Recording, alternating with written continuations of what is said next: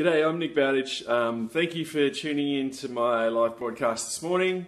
Um, in this uh, this broadcast, I just want to talk about how I intend to outlive my life. So, not how uh, how you should do it, or how you know people should do it, or how politicians should do it, or anything else. But when I'm thinking about my legacy and things that I want to leave behind for my kids and for people who you know are interested in me and my stuff and my contribution to the planet. I think a lot about this being, especially lately. You know, not that I'm dying or anything because I'm not, but um, just you know undergoing a lot of sort of change and concentrating on a lot of personal development and personal change. And and this comes up again and again. You know how what sort of uh, what sort of stamp I want to leave on Earth. You know, what sort of legacy I want to create. And the thing that I really want to do is just outlive my life. I want to be, um, you know, something. I, I, want to leave behind something much greater than myself. Um, and, and even if that's four beautiful, healthy, you know, sane children, then, then that's already winning, right? But um, these are the things that I think about, and these are the things that I'm sort of concentrating on to make sure that I do outlive my life and create a purposeful legacy, um, you know, when I'm gone.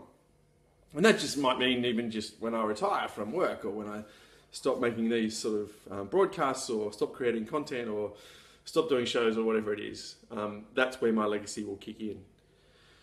So the first thing that I think about is that I want to purposefully engineer my legacy and when I say that, I don't mean I want to create bullshit that's not true, or I want to, uh, you know, um, I want to create this facade or this brand, and I sit behind it and be something completely different. Moreover, I mean by purpose, purposefully creating my legacy, I'm trying to purposely create a better life for myself. You know, to be a better version of myself, to be, um, you know, uh, more in tune with the the stuff around me that's actually going to be uh, contributing something good as opposed to contributing something negative or hurtful or destructive or, or whatever it might be, which is which has been my life, you know, a lot up until this point. So that's the first thing. I want to purposefully engineer something, not just have it accidentally. I want to create a legacy that I'm proud of, not not just have something that's you know an accidental legacy that I leave, whether it be positive or negative. I want to have a hand in it, right? Second thing is I want to be the best version of myself. Now, I purposely don't tell myself or, or, or tell, tell you in these broadcasts, you know, I want to be good. Because truthfully, the majority of my life, I haven't been good and I'm not good. And some, some you know, sometimes I'm mostly good.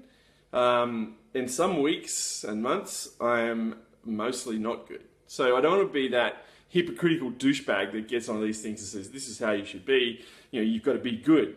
Because, you know, I, I, I'm just not. I'm trying to be. I try to be every day. But really, what I'm trying to do is trying to be the best version of myself. I'm trying to be as self aware as I possibly can, too. That self awareness is, is what tells me uh, look, you know, you're trying to be better version of yourself, but actually, you're doing the same old shit. You know, the little monkey that's on its bike in my head, sometimes he's pedaling away like mad and driving everyone else crazy and being destructive and being a dick. And then sometimes he gets off his bike and, and lets me be a much better version of myself. And I'm, I need to be more self aware, right?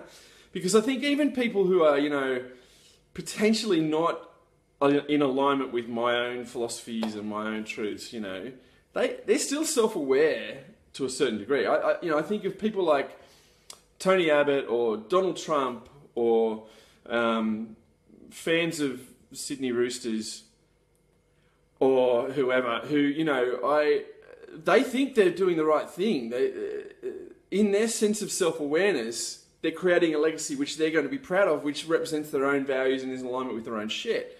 That's not in alignment with mine, but doesn't mean it's any more or less valuable or more or less legacy creating or you know more and less more or less constructive or deconstructive. So I, I need to be more self aware, right? Because then I can be a much better version of myself. If I'm not self aware, then I, I, I don't even know the areas in which I need to improve, right? So that's the second thing. The third thing is the legacy has to be, has to reflect the truth now. My legacy in the future has to create, has to reflect the present truth.